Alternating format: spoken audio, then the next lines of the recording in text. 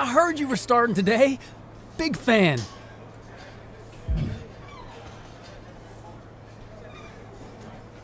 Thanks.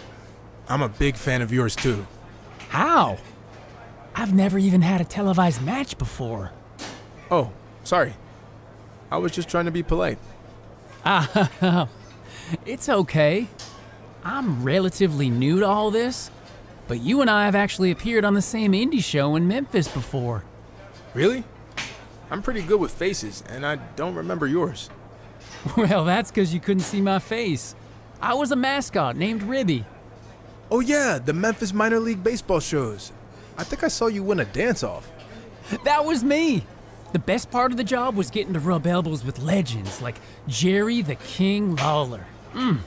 He found out I was training on the side as a wrestler and actually helped me get a shot here. Not that I couldn't have made it on my own.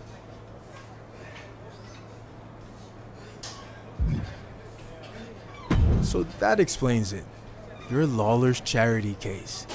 I could say the same thing about you and Booker T, but I know I deserve to be here. You'll see. Sure. If I need a mascot to cheer me on, I'll let you know.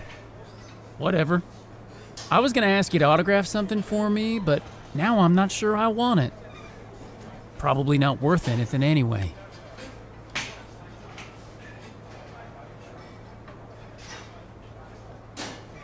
Relax. I was just giving you a hard time.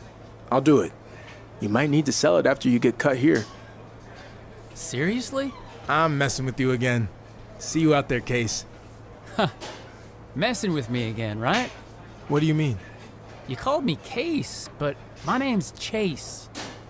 Good one. Oh, yeah. Totally messing with you. That's me. Full of jokes.